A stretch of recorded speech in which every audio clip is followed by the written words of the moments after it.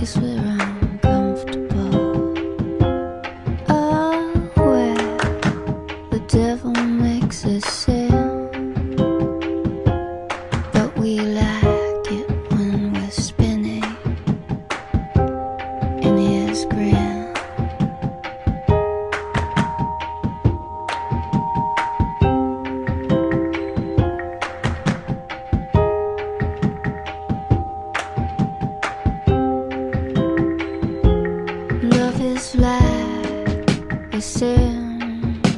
Love,